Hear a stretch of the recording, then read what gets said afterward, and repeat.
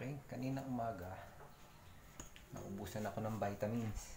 So, kailangan kong mag-mix ngayon ng bago. Ito.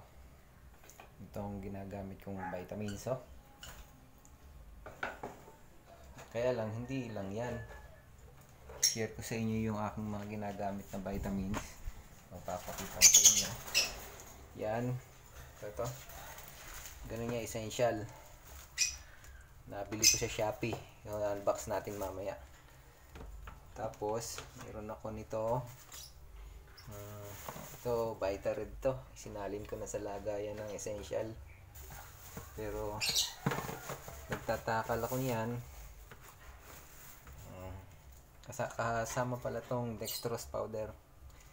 Ah, ilang grams pa to? 300 to, alam ko eh.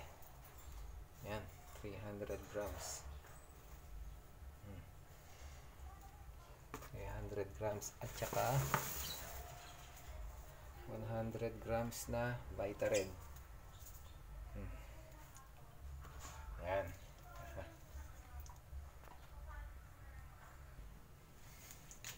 Okay. Itong i-share ko sa inyo ay sariling sariling halo ko lang. Sabihin sariling formula ko. Pero ito, hindi pa to sumablay. Pero hindi siya 100%. Pero hindi sumablay. Ibig sabihin, kahit pa paano, meron pa rin sa isang clutch, meron pa rin hindi nag-fertile. Pero, siguro, 5, 4 out of 5, mga ganun. Pero, mis madalas pala, perfect ang clutch. Sa anim na itlog, fertile lahat. Um, dati, marami na akong nagamit na vitamins pero dito ako nagtagal. Nabot na siguro nasa 3 to 4 years ko nang ginagamit ito. Nung una ang gamit ko Selectrogen tsaka may Atobi pa akong ginamit. Meron pa akong ginamit na Gardinin ngayon nung masubukan ko tong pinaghalo-halo kong vitamins na to hindi na ako umalis kaya nga inabot ako ng halos apat na taon. So, ito yun, dextrose powder. Sinimbang ko na to 100 grams na Vitared. At itong essential. Itong essential, in-order ko sa Shopee kay Ruel Gamboa. So, personal kong kilala yun kasi nakarating na siya dito nung mga nakakaraang panahon. No, nung makita ko siya sa makita ko siya sa Shopee, sa kanya na ako umorder kasi mas mura kaysa dun sa mga nabibili kong uh, essential dito sa ma malapit sa lugar. Kung nung in-order ko siya sa Shopee, 265 lang. Apat na yung in-order ko. Tapos konti lang naman yung shipping fee. Kaya doon ako kumuha. Malaki pa rin ang natipid ko. So, bubuksan natin to. Ang ganda ng pagkakabalo.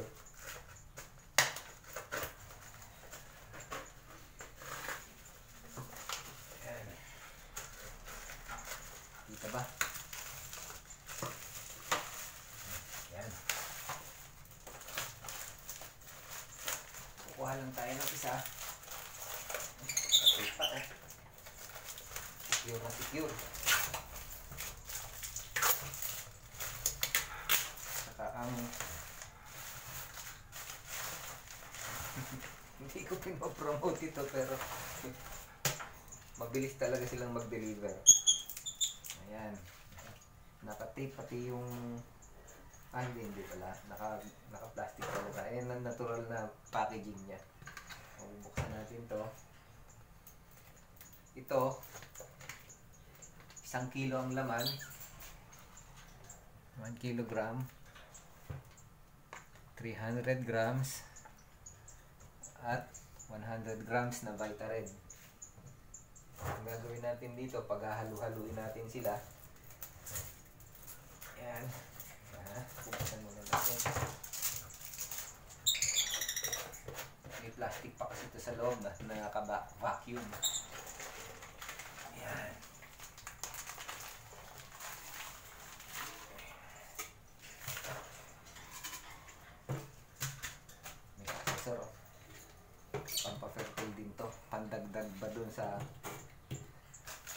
Essential at saka itong mga ito Vitared at extra fiber. Ang gagawin natin dito, bubuksan ko lang yung maliit. Dahil sa mga baguhan, maganda, ah, hindi naman baguhan siguro. Doon sa mga nagbabalak mag-alaga, mag-alaga ng ibon, ito ba, subukan nyo, baka maging effective doon sa mga alaga nyo. Sasalin lang ako dyan. Ng konti muna. Tapos dito.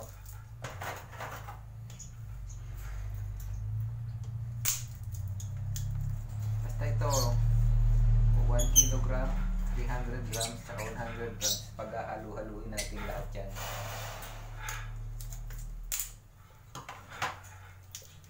Ito makatulong. Kasi ako, nagsisimulang mag-ibon. Nag-iimbento lang din ako ng aking mga ano. Ito eh, invento lang din ka. Kaya lang, ah, naging effective. Kaya dito na ako, ito na yung ginagamit kong matagal. Yan. Gawin natin dyan. Malagay tayo konti. Malagay din tayo dito. Unti-unti lang ang halo para maging balance.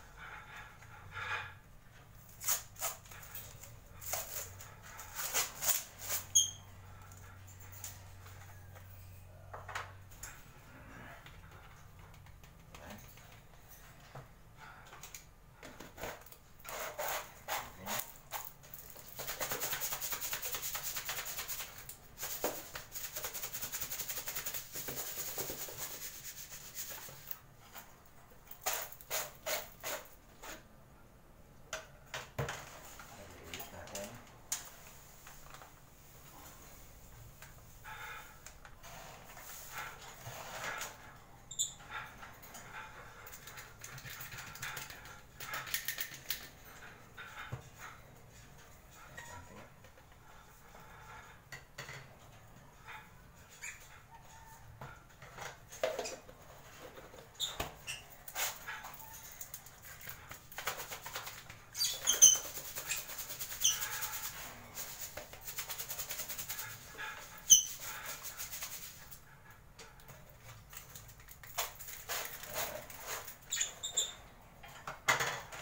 pa.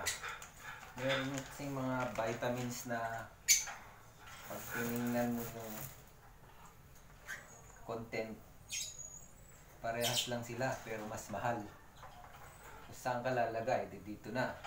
Meron ako dating nagamit na 250 grams, 250 pesos. Ito, 1 kilogram, 265. Saan ka lalagay? Diba? Dito ka na, mas tipid. Tagal mo pang gagamitin. As, at saka, parehas pang, parehas naman ang epekto. Hindi sa naninira ako, pero pareho ko naman silang nagamit. Parehas din ang epekto. Kaya, saan ka lalagay? Doon ka na sa mura. Diba? Ayan. Yan ang huling video natin.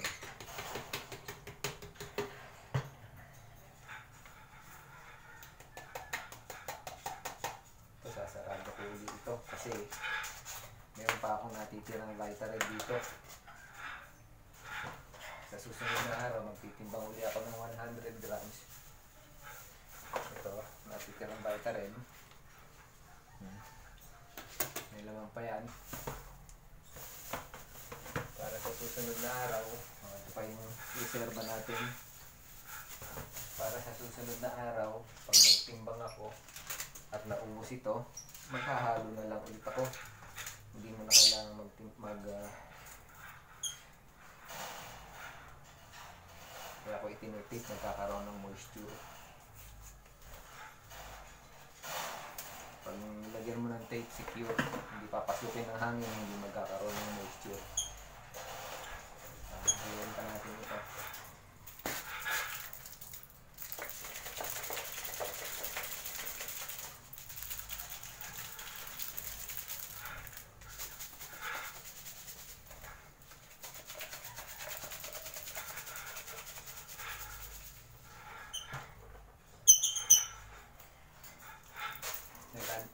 Yung gagamitin ko naman to, kinatalog ko para sigurado yung siguradong maghahalo, magiging balanse ng laman. May bubuo. May buong ano, dextrose powder.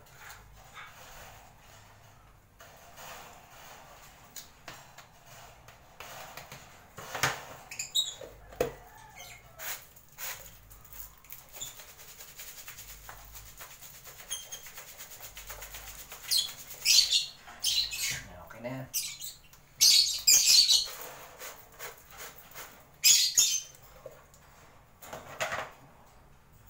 Okay lang yan kahit may buong dextrose powder. Kung sisilipin mo, yan. Ganyan ang magiging itsura niya pag natapos mo nang haluin. Ngayon, paano mo siya ibibigay sa mga ibon?